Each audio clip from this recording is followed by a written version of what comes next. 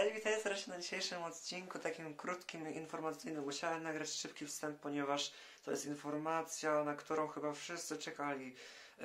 Dzisiaj prawdopodobnie już za kilka godzin będzie rolować nowa funkcja, czyli przede wszystkim, jak ktoś usłyszał, to wie co to jest Go Battle League.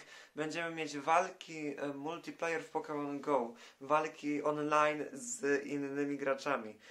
Przede wszystkim na początku wejdzie pierwszy pre-sezon testowy. Najpierw będzie dla graczy ze 40 poziomami, bo Niantic to będzie testować tą funkcję, żeby była stabilniejsza i, dop- i dopiero potem, po kilku dniach, dojdzie ta funkcja dla graczy z niższymi poziomami.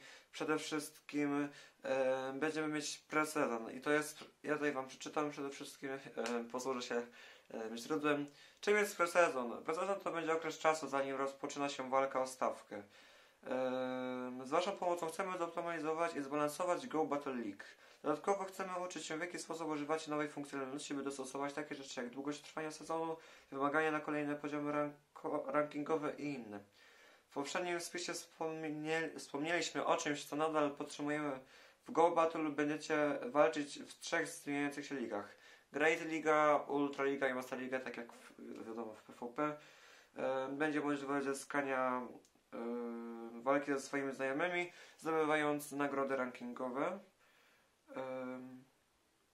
I teraz tak, pierwszy presezon rusza 10 lutego o 22 polskiego czasu, który się zmieni na presezon League 24 lutego.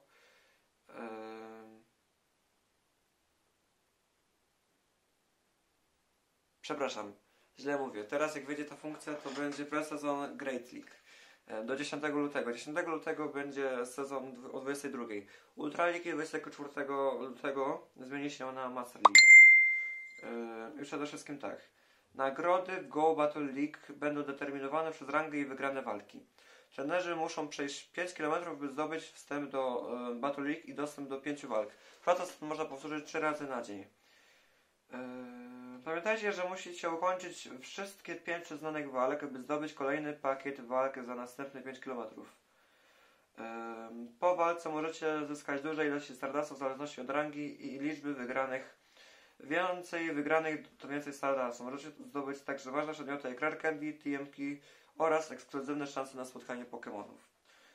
Pikachu Libre i przedmioty dla awatara jako nagrody z Go Battle. Pikachu w specjalnym przebraniu znany z gier Pokémon Go Omega Ruby, Alpha Zafir i Pokémon Tournament pojawi się w Pokémon Go. Możecie go spotkać jako nagrodę za udział w Go Battle League. Wraz z progresem w rangach otrzymacie również dostęp do przedmiotów dla postaci, inspirowanych w tym wariantem Pikachu. I teraz będzie coś nowego, czyli przede wszystkim Premium Ride Pass, to będzie Premium Battle Pass. Przedtem ten może wyglądać znajomo, ale teraz Premium Ride Pass zyska nową nazwę. Teraz oprócz rajdów będzie używany do aktywowania ścieżki Premium w Go Battle League z jeszcze lepszymi nagrodami. Premium Battle Pass pozwoli Wam zdobyć lepsze nagrody za zwycięstwo, a także obniży liczbę zwycięstw potrzebnych do spotkania niektórych Pokémonów. Użycie Premium Battle Passa nie wpływa na rangę oraz ocenę. Jedynym sposobem na poprawę statystyk jest wygrana. E, I teraz będzie coś takiego jak Battle Now, czyli wcześniejszy dostęp do Battle League. E, Żeby przede wszystkim móc walczyć, to przede- wszystkim będzie trzeba przejść 5 km. Natomiast jak skończycie swój spacer, a wciąż macie kilometr do zdobycia przepustki Battle League, e, funkcja Battle Now pozwoli Wam wydać poka końcu, by wejść do walki wcześniej. Koszt tej opcji będzie spadał im bliżej progu 5 km się znajdziecie.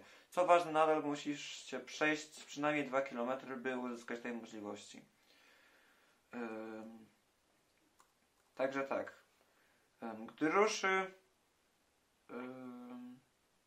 Przede wszystkim włączcie sobie powiadomienia w grze, by wiedzieć kiedy rusza Go Battle League. Z okazji premiery funkcjonalności pierwszy pakiet walk w Go Battle otrzymacie bez konieczności przejścia 5 km, czyli do 10 lutego będą testy. Nagrody oczywiście będą rangi i rankingi. Wiadomo, że wygrano będzie, będzie wam zwiększać.